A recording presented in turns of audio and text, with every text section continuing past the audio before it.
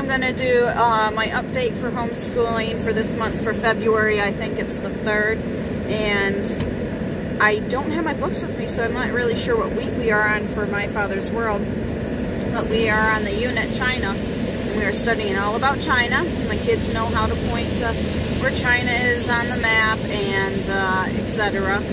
For science, we are still learning about the human body. Believe today the kids said they were learning about the taste. And uh, then we do some holding at home and we are learning about space. That's extra, that's bonus. And also at holding at home, also my third grader is learning about Charlotte's Web, literacy, with uh, Miss Shelley. And then we have had been doing some elementary writing through Holden at Home, but I believe the kids finished that up last week, so we need to find something else to replace that.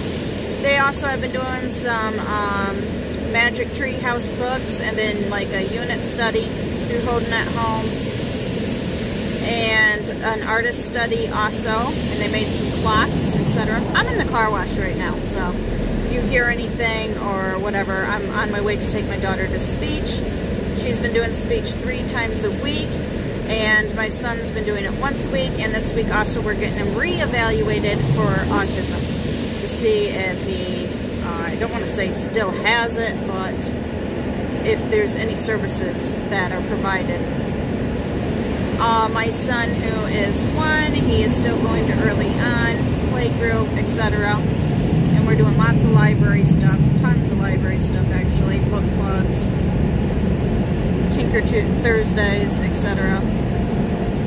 Okay, back to whatever I was saying. Uh, Lexia, we are still working hard at that. Lexia Core 5, and that's been bunches of fun. Not, the kids hate it. We plan on ending school April 24th because the kids are going with my mom to Freeland Garage Sales or Shepherd's. And then we're taking a huge field trip and doing spring break April 27th. Restarting in May, where in May we will be going to four days a week, 9 o'clock to noon. In June we're going to go down to three days a week, 9 o'clock to noon. And then in July we are going down to two days a week, 9 o'clock to noon. And then we'll have no school up until August 17th. That is our goal. And I don't have a clue on what curriculum we will be using. Um, but I'm to go ahead and take a wild guess that it'll be holding at Home in My Father's World. But that could change. And I think that's all about the updates except for math. We are still doing teaching textbooks.